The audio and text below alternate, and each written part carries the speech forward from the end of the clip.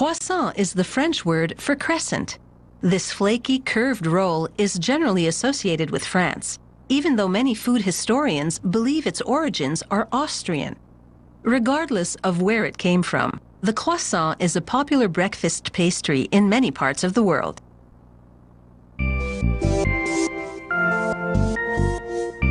Plain, with jam, or dipped in a cup of coffee, there's nothing like the light, flaky texture and buttery flavor of a croissant. This commercial bakery makes its croissant with soft spread margarine in lieu of butter.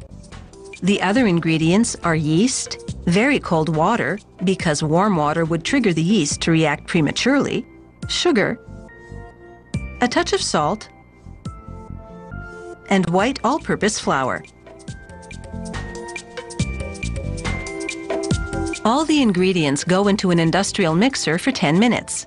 First at slow speed to blend everything and form the dough, then faster to knead it. Next, the sticky elastic dough enters the multi-roller machine. As an automated dispenser lightly dusts the dough with flour to prevent it from sticking to the equipment, a series of 16 rollers progressively flattens the dough into a thinner and thinner sheet. The next process, lamination, is what creates the croissant's flaky layers. The first station on this line extrudes 20 kilogram blocks of margarine into a half a centimeter thin sheet. The next station lays the margarine sheet on top of the thin dough sheet, then folds the ends of the dough upward, enveloping the margarine. Then rollers compress the overlapped dough ends to seal the margarine inside and flatten the whole thing down to about a centimeter thick. The next station repeatedly folds the dough over itself, then, with rollers again, presses the layers into a thin sheet. This laminating cycle repeats over and over again until each dough block coming off the line comprises 243 layers. Plastic wrap keeps the dough moist as it now undergoes 8 hours of refrigeration. The cold rehardens the by now softened margarine and lessens the dough's elasticity. The dough is now ready for the automated machine which forms the croissants. The first rollers progressively flatten the connected blocks into a thin sheet. Then another roller runs over the dough horizontally to expand the sheet to the required width. Next, cutters divide the sheet into seven thin bands, each one 10 centimeters wide. Then a roller surfaced in triangular blades cuts each band of dough into triangles.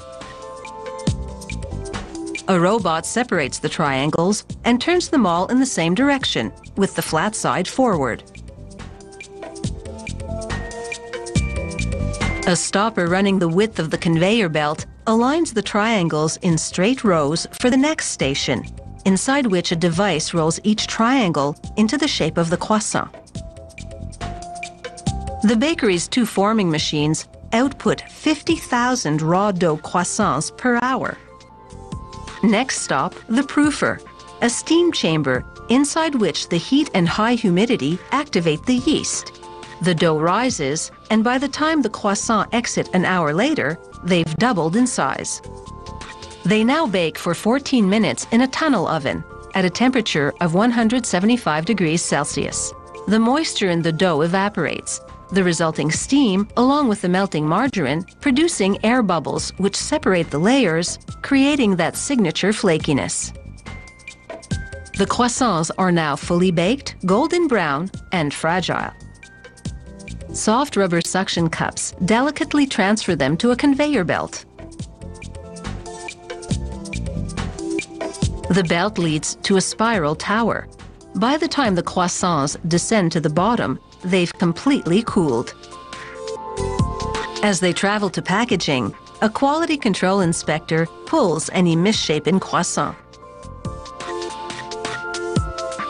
A multitasking robot slaps an adhesive label on plastic bags, counts out and drops in two dozen croissants, then securely seals the bags to lock in the freshness until the croissants reach your breakfast table.